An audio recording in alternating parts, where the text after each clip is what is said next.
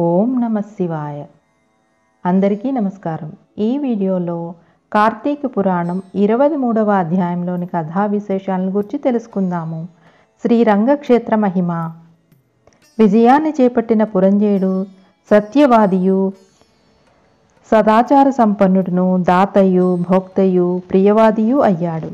యజ్ఞయాగాలు అనేకం చేశాడు. విష్ణుభక్తి వల్ల సత్వగుణం పొందాడు.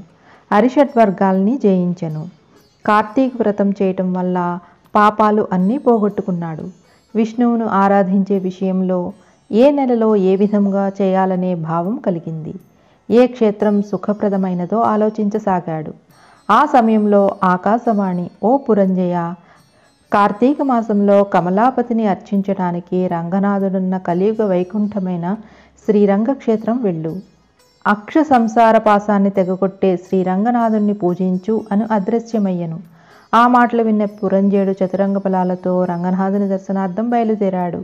దారిలో ఉన్న పుణ్యతీర్థాలు దేవాలయములు దర్శించుకుని సేవిస్తూ శ్రీరంగం చేరుకుని కార్తీక మాసంలో స్వామికి పూజ చేస్తూ కృష్ణ కృష్ణ అని గానం చేస్తూ స్నాన దాన జప హోమ దేవతా ప్రదక్షిణాలు చేస్తూ నెలాఖరులో వ్రతాన్ని పూర్తి చేసి అక్కడ నుండి తన నగరానికి చేరుకున్నాడు. ప్రజలు ఎంతో సంతోషంతో భక్తితో స్వాగతం పలికారు. రాజపురం ప్రవేశించి నీతి తప్పకుండా రాజ్యపాలన చేయసాగాడు. ఈ విధముగా కొన్ని సంవత్సరంలో రాజ్యం పాలించి తన కుమార్నకు రాజ్యాన్ని అప్పగించి వానప్రస్థం తీసుకుని అంతఃపుర జనంతో ఆశ్రమవాసం చేస్తూ కార్తీక వ్రత నిష్ఠతో అతను విష్ణు సాహిత్యాన్ని పొందాడు. ఓ మునిశ్రేష్ఠ కార్తీక వ్రతం పుణ్యప్రదమైనది. అన్ని కోరికల్ని తీరుస్తుంది. కార్తీక ధర్మాలు శ్రమకరాలు కావు. కేశవుడికి అవి చాలా ఇష్టము. అటువంటి కార్తీక ధర్మాల్ని మానవుడు బుద్ధిపూర్వకంగా ఆచరించితే ఉత్తమ గతిని పొందుతారు.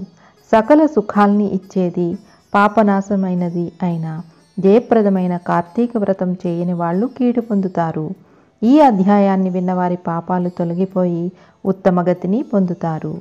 ఇది శ్రీ స్కాంద పురాణాంతర్గత కార్తీక మహత్యమందలి ఇరవై మూడవ అధ్యాయము సంపూర్ణము. ఓం నమ శివాయ.